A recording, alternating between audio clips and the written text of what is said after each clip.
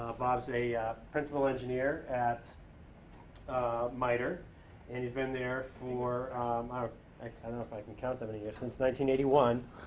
and um, uh, for the past 16 years, he's focused on uh, the interplay of risk management, cybersecurity, quality assessment, and uh, the use of software-based technology. So Bob's really been a pioneer in defining the risks around uh, using software, and I can tell you that um, uh, in my work I use uh, CWE. I think it's a, a great thing. So uh, uh, welcome, Bob. Thank, you. And uh, hopefully one of these days we'll be done with it and people won't discover new ways of making applications insecure.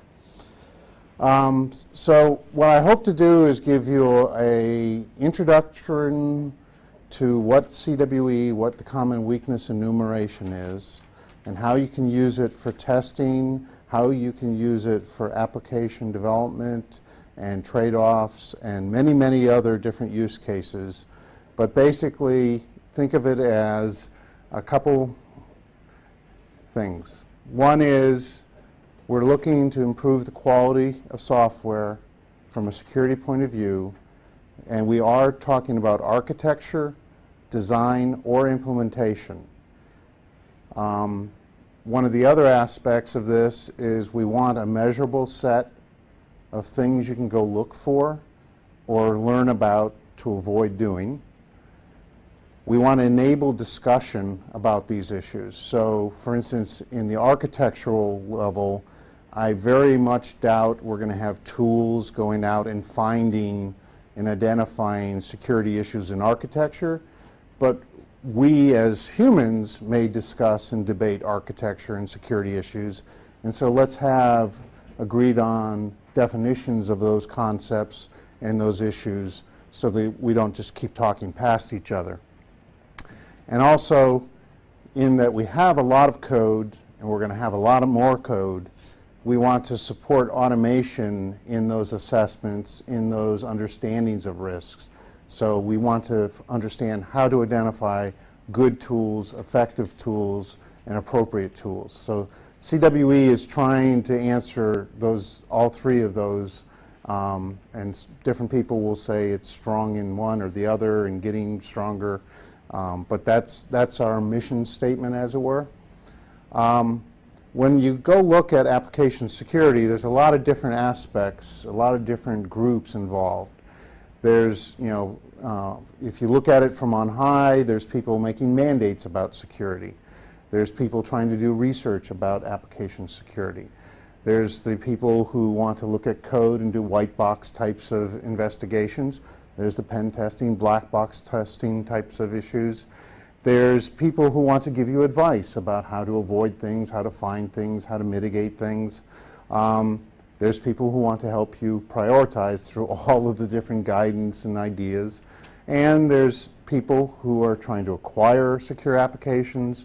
And there's project managers who would like, if they can understand how to do it, to actually have secure applications from the projects they're putting together. The trouble is, how do these different groups actually talk about the same concepts from their different perspectives and know they're not getting confused? So one way of looking at CWE is that Rosetta Stone that's trying to bring these different groups together so that they know they're talking about the same issue when in fact they're trying to. Um, so for instance, CWE 79. Okay, Connor, which 79? Yeah. oh, I could have asked Steve Christey too. Um, uh, SQL injection. Well, well, it's one of the tops, right? So the idea is a mandate about cross-site scripting. You know, make sure all our applications are tested for that. So the idea is that, well, how critical is that in the OWASP top 10 list? Oh, that's pretty high up there. Well, you know, we ought to tell the people that are acquiring applications to go look for that. Make sure that, you know, we talk to the service suppliers and vendors about that. In our applications, what are we doing to look for those kinds of issues? in the advice sites. What's out there? What can we pull together and bring to bear? In the actual project manager, do you have time for testing? Have you looked at that issue? So on. So how did we get going on this? Well, there's a lot of work that's gone on in faults and flaws and ways applications can be going wrong. If you look on the left of this slide, basically you have things from the 60s and 70s and different types of fault analysis and different kinds of uh, looking at how code and applications can go wrong. If you go on the far right, you'll see an effort called Plover, which was the preliminary list of vulnerability examples for researchers, which was based on reported CVEs, so publicly known vulnerabilities. What was the root cause of them? Well, we pulled 1,500 of them, analyzed them, and came up with about 300 things that actually were the root cause of those. So then there's other efforts, Microsoft's efforts to structure the different classes of issues that they were worrying about through Mike Howard's books. CLASP had a taxonomy, WASC had their work, OWASP. So there's a lot of work out there trying to get a handle on this problem.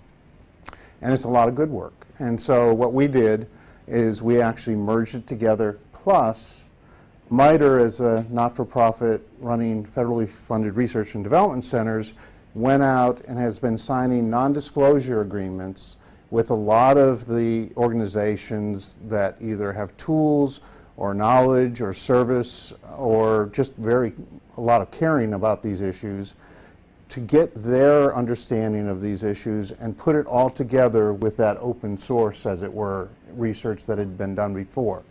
So when you look at CWE, it's all these things together. Um, oh, we've got a slide transition problem. So we started out with Plover, and then in 2006 we had another draft, 2007, now we're up at 2008. These are all called drafts because in a you know precision, really uh, fully vetted thing that you can rely upon and every piece is as strong as every other, we're not there yet. Um, but we're getting close. Uh, we hope to get to draft one this, uh, or release 1.0 this year, in fact this summer. But basically we've been putting together this information, trying to deconflict the different sources, get common terminology, get some people had a focus on testing, some people had a focus on you know, risk issues. So we're trying to merge those together, fill in things. And you can have, draft 8 went out at the end of January. Um, draft 9, hopefully, will be at the end of March, maybe the beginning of April. Um, and we'll keep moving. That keeps Chris and one of his compatriots, Sang, very on the top of their form, right? Doing the diff reports. But basically, the last version added 22 more CWEs, so we're always adding new content. But we also, um, you know, this time we added a bunch of design weaknesses. So, you know, it's not just implementation issues. There, we're trying to get the different areas covered. Um, so, one of the ways I sometimes talk about what we've been doing is, well, how many things have we, you know, identified? That's a good metric, right? Um, and so if you look at the different drafts, we got up to draft three, and that's when we started pulling in content from a lot of other people th through the NDAs. We, we, had been brought in CLASP and Seven Pernicious Kingdoms and all that information from kind of the open source before that. And we went through a couple different drafts, and at one point we said, okay, we've got enough information here. I think we can envision what we really want to have in CWE. Because, you know, basically we were pulling in all this content from different sources, and, you know, one of them had 15 different attributes that they were tracking, another one had 18, one had three. We were trying to figure out, okay, what is the good minimum types of issues to cover, and then do those well. So at um, after draft six, we basically did what we're calling the CWE scrub, and we're still scrubbing. Um, so another way of looking at CWE is it's you know basically completeness of full definitions. You know that all the different aspects of each issue is fully defined, fully worked out. And so once we decided on our measuring point, it got pretty sick. You know, all of a sudden we had a criteria for success, and a lot of them weren't up to that criteria. Um, so what we've been working, draft seven and eight, is trying to fill in those gaps in restructuring, full definitions, uh, and a couple other things. Draft nine and hopefully version one is where we're up now to all the nodes have, you know, their minimums met. So what are those minimums? Um, well, you can see MITRE does a lot of things very openly. So there's an our own analysis of what was wrong with draft six and what our get well plan is out on our website, all the different issues we were trying to work out. So I'm not going to bore you with reading through those for you here. But the scrub basically was taking and putting out key principles that we wanted CWE to have and then going through and like language specific issues, technology specific issues. We wanted to have these covered in each node so that people with different points of view could kind of carve through it, taking a swath through it for things that deal with C or things that deal with Intel platforms and not have to wade through all you know six, seven hundred nodes. And then um, contexts, you know, like things have to do with files, technology. So different ways of going through this. So many of the earlier works were all uh, depicted as taxonomical.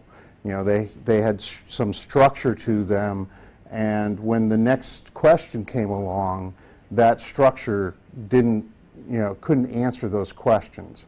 So what we're trying to do is have all the low-level concepts all the low-level types of issues that are problems identified, get good agreement, and then you can have different structures built on top of that depending on which cut through that knowledge, that dictionary, that encyclopedia you want.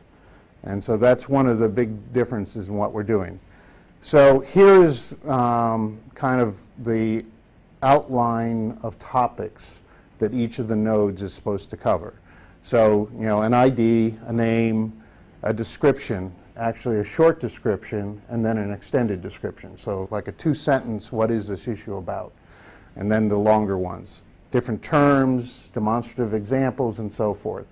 So, um, and then other things about mitigations and types of issues, how you can be attacked by these.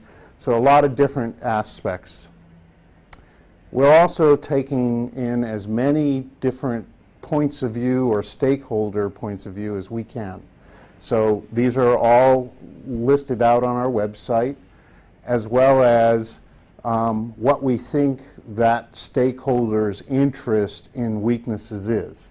What are they going to use it for? Why are they care? What aspects of it are more important to them, and so forth.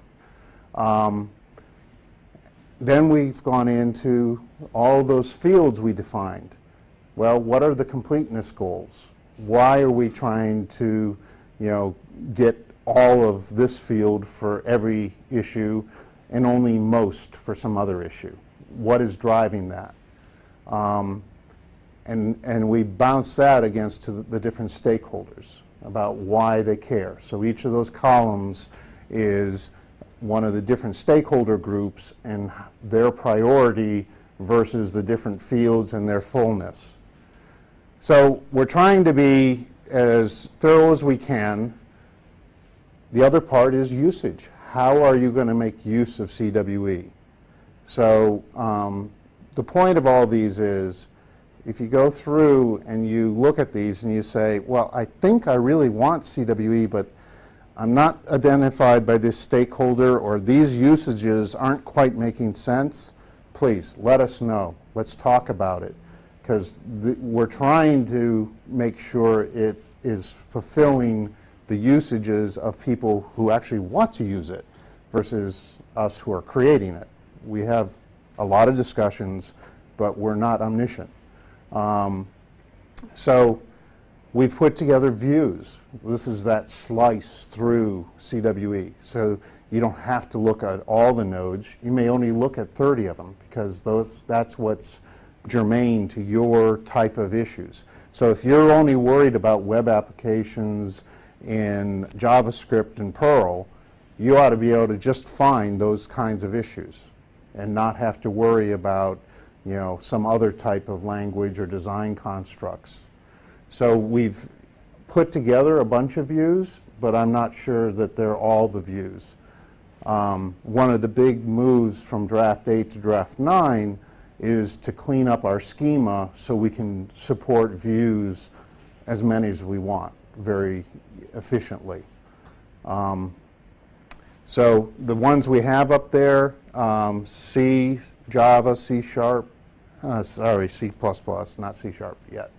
Um, PHP, also um, OWASP Top 10 has CWEs uh, in the last version, the 2007. So you can go look at all of them. You don't have to go find them. Um, those are just simple exemplars of the concept of a view. They're not elegantly done, but the idea, lot of people saw those tree charts I showed earlier and started thinking that was CWE. And no, that's one way of looking at it if you happen to want to look at everything, but most people won't. So these views are how we envision most people actually making use of the material. Uh, so think of CWE as, yes, there are some people who want to look at all the views. Um, there's other people, whoops, sorry. Well, there was a couple different views, but underneath it all, there's C specific. But underneath it all, any particular view has some organizational nodes, some grouping type of, you know, parent because it's of a higher abstraction of that weakness, and then some lower weaknesses that are of a same type. So if you looked at all of CWE, you're going to see a lot of different kinds of nodes. But the idea is you may only want one subset. Um, so right now, my clicker is off by one. So this is what we have out there now is uh, 55 categories, 77 groups, 265 types, and 256 variants. So types, variants, all these terms are defined on the website but just think of them as abstractions and ways of organizing all this material so that we can have rules about, you know, variants have to have this kind of information in them, types have to have some other stuff, and, and so forth. Um, so the node types, we started out with um, just categories, so, you know, a parent node and a child, and then variants would be technological differences, whereas now we also have groupings. So those views, those slices, those are groupings. So those are different ways of organizing nodes. So an example would be issues that affect files as a grouping, whereas insufficient input validation is a parent to path traversal as well as cross-site scripting. So th those are just some examples of, of different uses of this. So um, this is our health report. Um, we have 187 nodes with no parent and no child issues. So those are the good ones. Everything else is either missing a parent, missing a child, or has some other issue that we're trying to track down and work through. So I'm just showing you we're, we're over-metriced, or at least over-measured. Um, another way of looking at it is we've been tracking these things over different versions. You know, I, obviously we want more and more green, um, and we're not getting there yet. But um, by draft 1.0, that's our criteria. So it's not a calendar date, it's a quality point. Um, which some of my sponsors seem to have trouble understanding that. What do you mean you're not going to be done by this certain date? Um, so, so wanted to. We have this document up there. It's now available also as a PDF. It defines each field and what the field is supposed to have. So this is what we're using to make those red, green, blue evaluations. It's also, if any of you want to contribute content, here's your cookbook for offering up, you know, objects. Um, And we have, under NDA, a couple organizations supplying uh, new nodes and and corrections. Um, So draft six to seven um, did a lot of cleanup. Uh, It's obvious just from the screen, you can see everything that got changed, right? Well, maybe not. You know, little details, you know, like you can say something holds for all code. It's not, you didn't have to list every single language you wanted. Now, we're also finding that there needs to be, quote, all code with an exception list, because some things aren't quite for all code. But the idea is we've been going through with these kinds of cleanups, going through content. Remember, a lot of this content was donated from lots of different sources, had different business drivers behind them. So um, adding in children and parents and relationships. Draft seven to eight had even more changes. One of the things is we now have summaries. So sometimes you would come into a definition and a paragraph, two paragraphs, a page later, there was your definition. A little too much for somebody who's trying to browse through and find things. So now we have a very succinct two or three line description that we're trying to hold to that criteria. Of course, once we get lower down, it gets a little dicey to actually be succinct when you get there. Um, We've also added references um, section to CVEs. It's always been there, but it was a little hard to find it.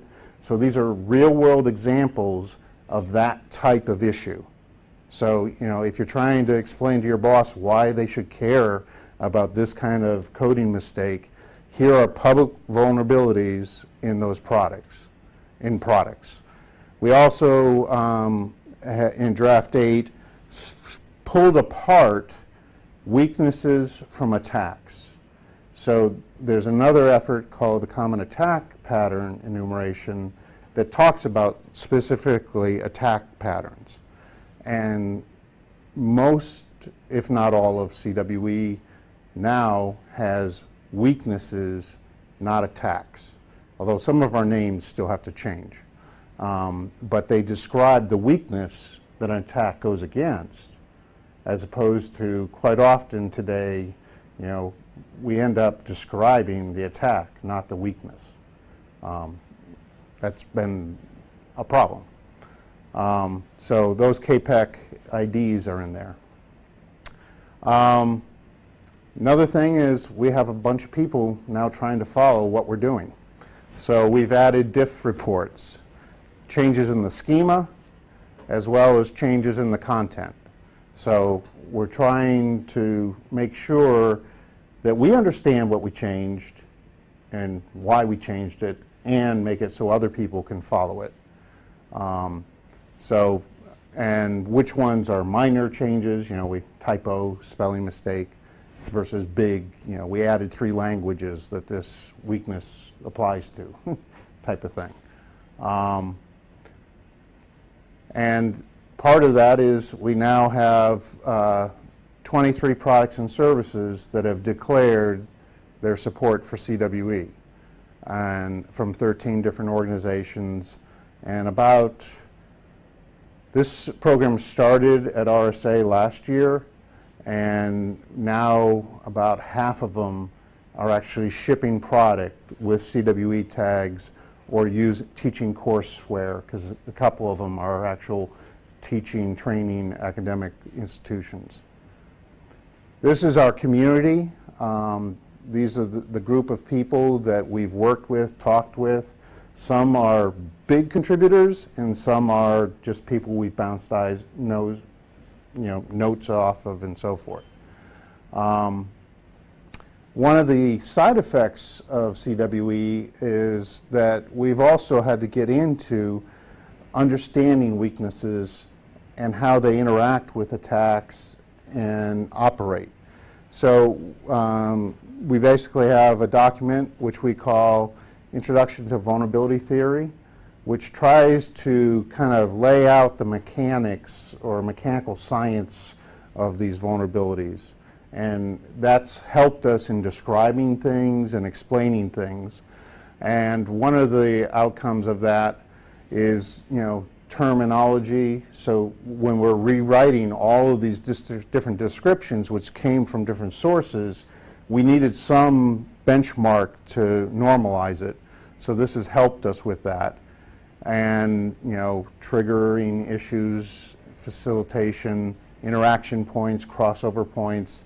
I'm not going to go into detail. Steve can go into detail at the break if you want. Um, but one example of it is in code, code samples. How many of you have seen code samples and been reading the book that had the code sample and you're trying to follow what they're explaining and you really can't see it? You just can't figure out where they're talking about what. Well, one of the ideas with these concepts is for this code sample, cross-site scripting, well, there's an interaction point at line 3 and 6. For traversals, the interaction point is only line 3. For overflow, the interaction point is line 3 also. So now, you know, with these succinct concepts, you can look at the code and see where those different issues are really at. And we found it's very useful in teaching people and getting discussion on what's going on. Um, another issue that we've uh, been working on is um, basically, we're calling them chains. It's basically that several types of weaknesses seem to follow each other. That, for instance, uh, having an integer overflow can lead to a heap overflow. So there are two different weaknesses, and if you see one, you may or may not see the other, but you may want to look. But if you don't know that that relationship could be there, and it's actually when they're together that they're more dangerous, you know, so this idea of chains, just to let people know you're looking for one, look for the other, or at least understand that their possibility is there. Um, both of them have CWEs. The idea is that if there are certain chains, and they could go on for more elements than this, but if there's an important sequence that really happens a lot, that also would get a CWE, that chain itself. Not all chains are going to get CWEs, but the idea is that this may be also something that code analysis tools find. They, they see one of them and Im implicitly assume the others happened, and yet they didn't really see it or such. I mean, the idea is this is where some of the obscurity and differences in tools and different methods could be coming from. Another uh, example is in composites. So relative path traversal, it's a very well-regarded concept, but it turns out it's actually built on a couple underlying weaknesses, and if one of those isn't there, then that overall concept, that composite, won't be there. So again, if a tool is finding one of the underlying issues and projecting that, oh, I found the big issue, well, maybe they didn't.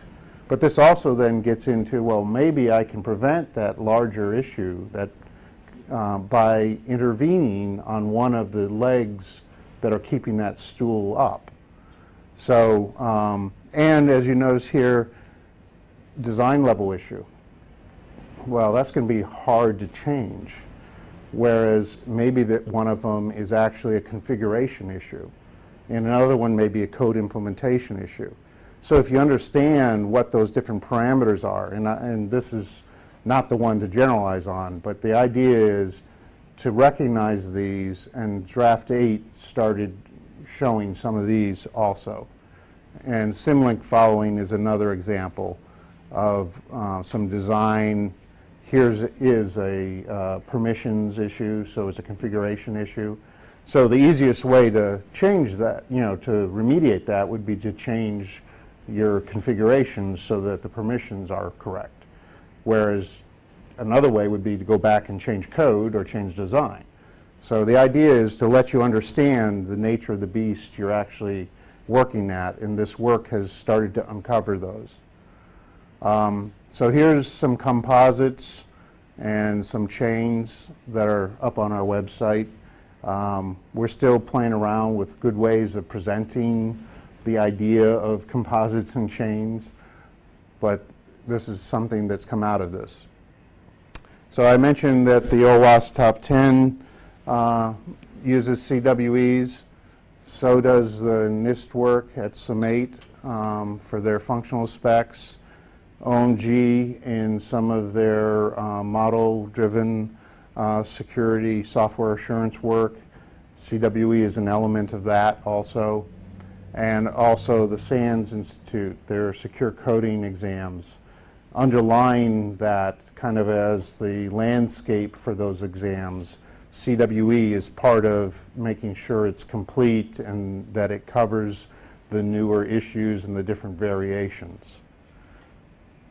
This is, uh, I don't know if any of you got SANS poster this year, but CWE was uh, the theme of their uh, secure coding uh, poster, and it shows the blue is kind of general CWEs. The red is um, from uh, the top CW, the CWEs behind the top 2006 CVEs, and the ones with either yellow or yellow bordered are the OWASP top 10 CWEs. So it's showing you which ones are actually prioritized by OWASP or behind a lot of the more popular types of publicly known vulnerabilities. Um, so um, at DHS and DoD, they have the software assurance working groups and forums. CWE is one uh, uh, part of that venue also. Um, so if you're interested in that area, there's some interesting work going on there. And also the National Vulnerability Database. They used to have a home-brewed uh, set of labels that they would tag each uh, publicly known vulnerability with. Um, they've dropped those and now they're using a subset of CWE. Now, CWEs can go way down into real detail. When you're reading an advisory, you don't have that kind of detail. So we basically work with them to identify about 18 fairly high level concepts that it's reasonable to expect when you read an advisory you would know enough to pick one of those 18.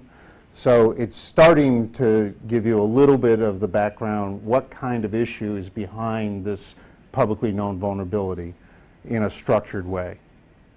Um, and, and it'll bring you right into the CWE definition of those uh, right from the National Vulnerability Database. Um, I can speak to this for an hour, but I'm not going to.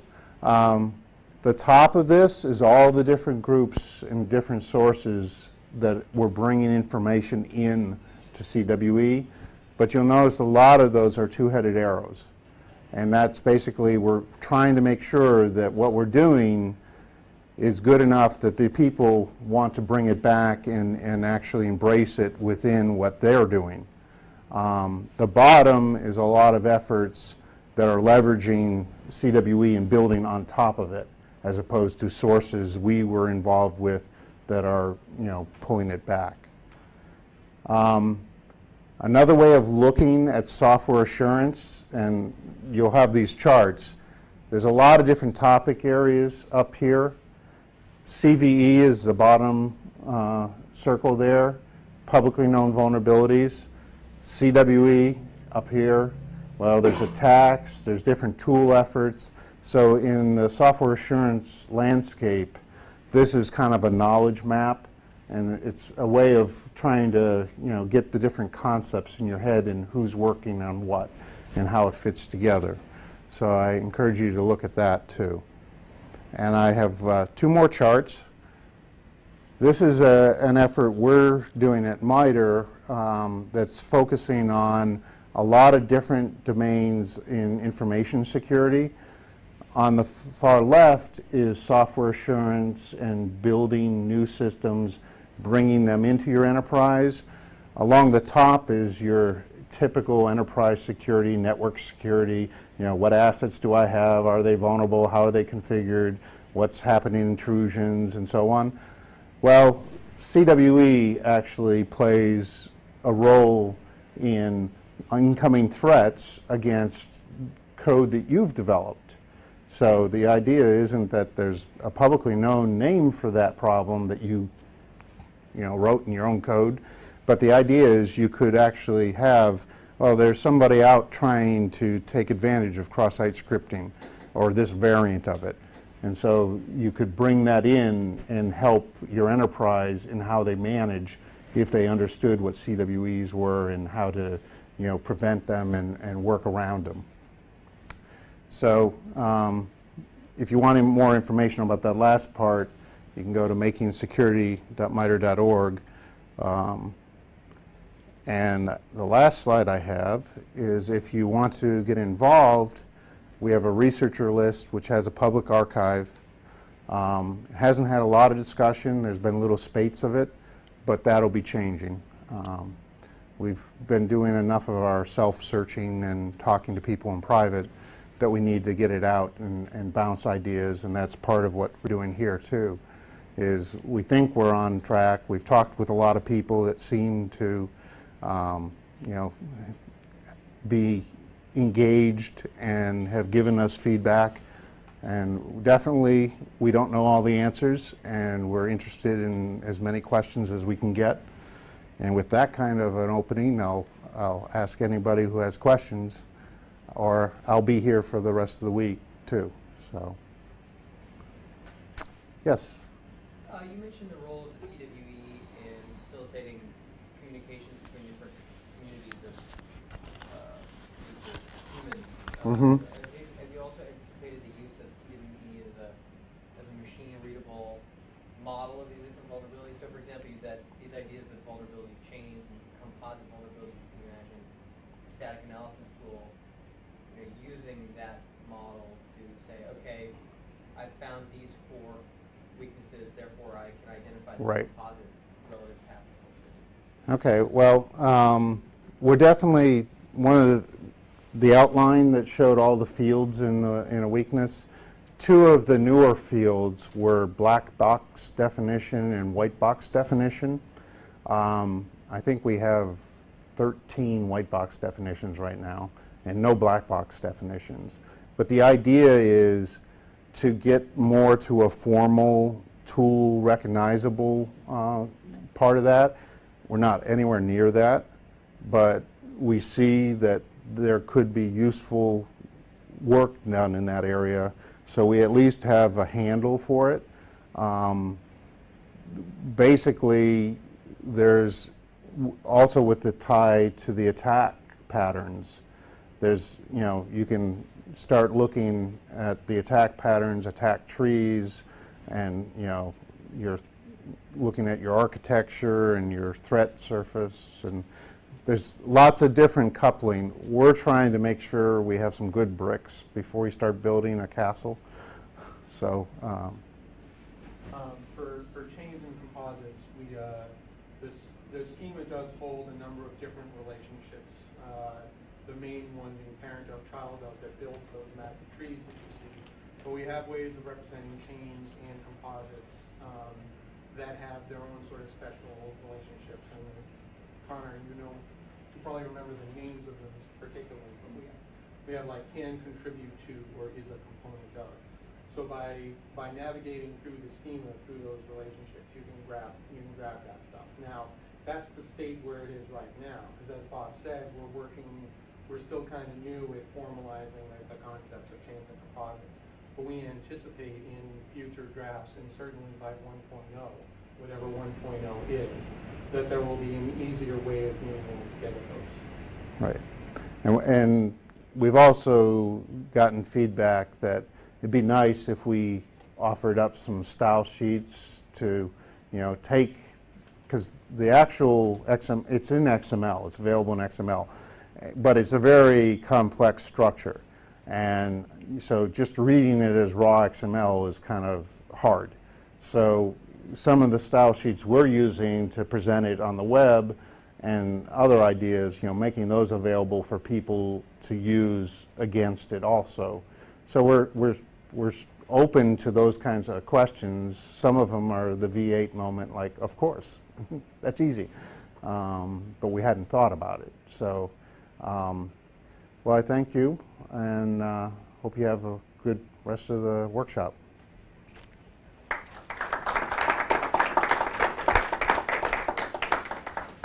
Thanks, Bob. You'll see that there's some evaluation